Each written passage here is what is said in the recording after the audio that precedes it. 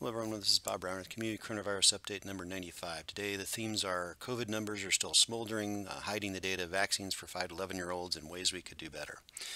Uh, so unfortunately, numbers have not uh, continued to drop like we had hoped. Uh, looks like if anything, numbers are starting to head back up again, and kind of going along with that is hospitalizations here at Lincoln are, are head back up again as well. Uh, both county residents, people from outside of Lincoln, uh, are, are, being more hospitalized. Uh, we're seeing the same numbers Uh, in in the rest of the state. Douglas County again, their numbers are as high as they've been for the last couple months here. So 200, about 200 hospitalizations, and hospital capacity overall is about the highest it's ever been because all the delayed care that didn't get done here still need is started needing to get done, and so there's only just so much capacity, which is proving to be a big problem for hospitals at this point. Uh, unfortunately, uh, Nebraska is not doing some of the right things it needs to do. We stopped uh, sharing data, and so if you go to the New York Times site, you'll see these disclaimers now saying Nebraska again stopped sharing data at the county level October 22nd. unfortunately, the governor has pretty much taken down the dashboard uh, yet again. Uh, unfortunately, I think he's uh, prematurely declaring victory and re rescinding what few directive health measures are left. and so we may be smoldering for a while until we do something better, unfortunately, which we'll talk about a little bit at the end. Um, I don't know why we're hiding the data. I don't know, are we avoiding accountability or is there a misunderstanding of how pandemics work? Uh, are there problems with the data that, that's being covered up? Uh, I'm not sure what's going on, but it really is frustrating for those of us trying to work on this that uh, the state is not sharing this kind of data like other states is doing. Uh, but unfortunately, but thankfully, we do have enough local health departments putting out good data like this, whether it's Omaha or Lincoln or, or some other folks, so we can draw enough from other sites to kind of know what's going on.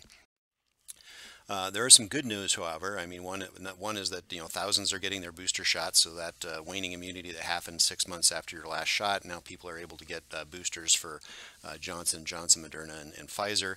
And of course, the biggest announcement yesterday was that 5 to 11 year olds are also now available for uh, eligible for Pfizer. And locally, they'll be available at a couple of different places: the health department vaccine clinics at schools, pediatric and safety net clinics, and pharmacies. However, be a little patient. Uh, and so locally, uh, Dr. Sian Jones Jobst was on a news conference today pointing out, you know, it's going to be a few days. There's some uh, logistics that need to take place. And so uh, just because it was approved yesterday doesn't mean it's going to be available in hours. It's going to take a few days to get this uh, up and rolling. Uh, another good, as you know, many of you know, I like uh, Katelyn Jetelina's uh, posts. She, again, she's also saying be patient with your pediatrician and pharmacy. and so if you want to walk through the logistics why this takes a little time to get it off the ground, she kind of goes through some of the supply chain issues uh, that are involved. Uh, the good news this time is it's going to be available everywhere, not just at a mass clinic. It's going to be available where people trust most, which is at the regular doctor's office or pharmacy, because those are the people's first two choices. So thankfully that's going to be happening, plus uh, the access to the school, which is another uh, parent uh, preference. And so, uh, so we're going to be delivering the vaccines in the places parents want them to be delivered, hopefully the most accessible, and hopefully we can get these kids vaccinated as soon as possible, because this will help our numbers quite a bit.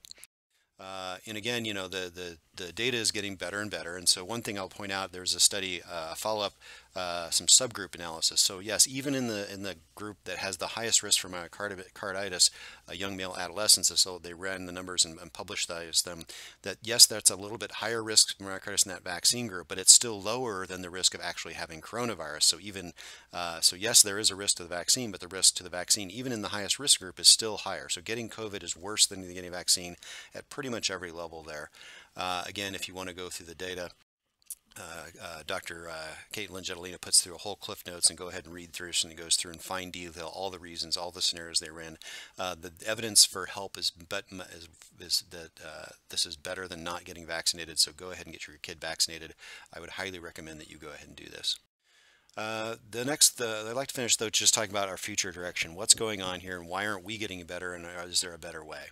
and so I think I'll use two countries, United Kingdom versus Italy so uh, we seem to be following the UK model, unfortunately. So the United Kingdom, you know, they had their first surge, they had the big alpha wave, uh, they had the big delta wave, and people thought, oh, it's going to be rapid up and rapid down. But now, months later, still smoldering up and uncertain unfortunately, just about kind of where it was, even at this this high peak here.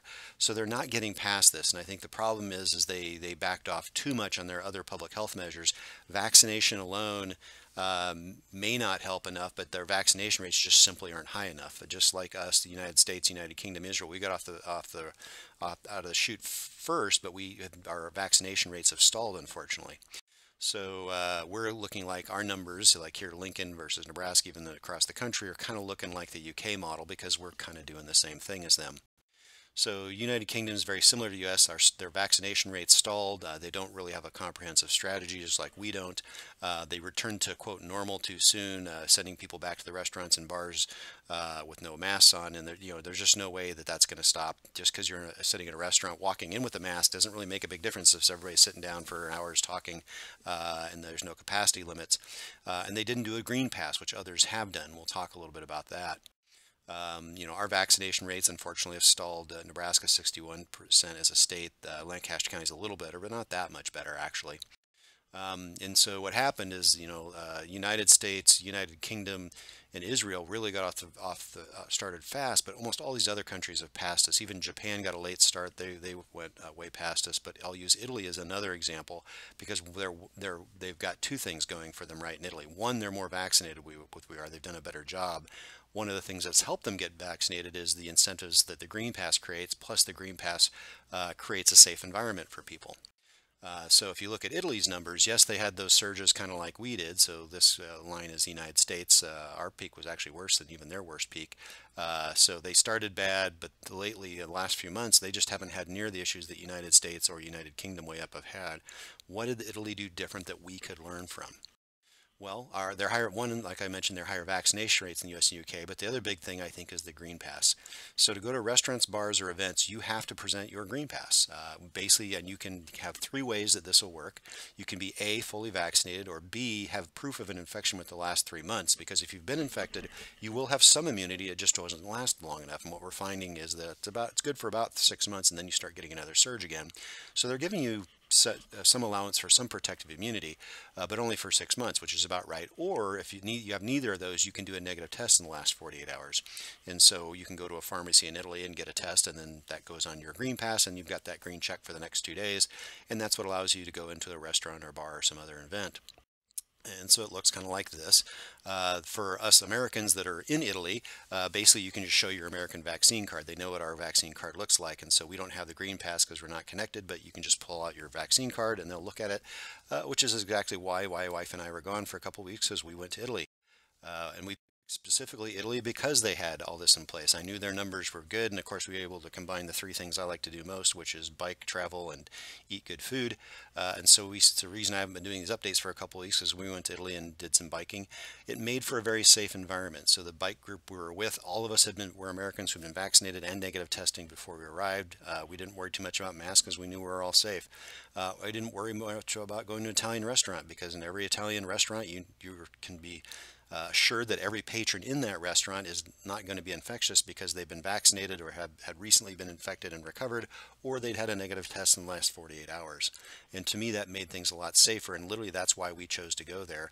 Uh, I think maybe some of our own restaurants locally might be able to learn from that. Uh, it reminds me a little bit of back in, back in the days when smoking was still allowed in some restaurants. Some didn't allow smoking, and of course we preferentially went to those restaurants that didn't allow smoking. I would do the same. I would preferentially, preferentially go to a restaurant that created some type of a safety safety system like this. Uh, so Italy, uh, I like also though that they didn't have to do a vaccine mandate in Italy to get there. So the reason we have to try to do a vaccine mandate is because we're not doing this. And so I like the Green Pass because it gives us some freedom of choice. You can choose to get vaccinated. Yes, you can get some credit from having been recovered from an infection and you have some natural immunity that's probably good for three to six months. So, okay, we'll give you credit for that. Or if none of those in place, well, then you should have a negative test in the, uh, in the last 48 hours. And it's at your cost because the vaccination is for free. If you choose not to avail yourself of that, that's on your dime. And so I think we should move to something like this. And they still use masks in common places where it's going to be harder to verify this stuff. And also there's, when you've got a lot of people in a group, there's even, none of these are going to be imperfect, meaning some people are vaccinated, yes, oh, we'll have breakthroughs. Some people, even though it's within six, six months, sometimes you could get infected four to five months later. And a negative test for the last 48 hours, that may not be perfect. So still in common places with lots of people, you still were required to wear masks in Italy. And that's why their numbers are where they are. Um, I think this is the biggest policy failure in the United States and Nebraska and Lincoln because this could be implemented at any level. It has been implemented in other states like Hawaii and some cities like New York where they are doing things like this. So we could choose to do this, uh, but I think we may smolder along it like this for potentially months on end until we do something different. Uh, we can just let that many people infected keep hospitals overwhelmed, uh, have more deaths, or we could put something in place like a vaccine verification similar to this uh, for events, restaurants, and bars going forward this winter. Uh, without that, I think we're going to have to go with vaccine mandates. Uh, I, I, would rather do the other one, but if not, we'll, we'll have to go with vaccine mandates if we want to get past this uh, in, in a coordinated fashion. So could it be voluntary? So I mean, one thing we could say was maybe not all restaurants don't have to do this, but they could choose to market uh, to people like me who would be more likely to go to their restaurants uh, this winter if they were to put something like this in place. Uh, that requires some infrastructure to be put in place. Uh, University of Nebraska does have a safer community app that achieves something like this, and there are lots of uh, entities working on this. But I think this is what, something that we need to start talking seriously about if our numbers don't start going down quickly. So hopefully this is helpful with you. I'll be back with another update next week. Uh, we'll see what happens. Uh, and then this is, again, this is what I do for a living, so you verify who I am. But disclaimer, these are my opinions, not those of uh, the entities I work for.